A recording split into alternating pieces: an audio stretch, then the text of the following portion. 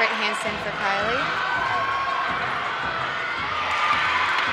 Big release as well.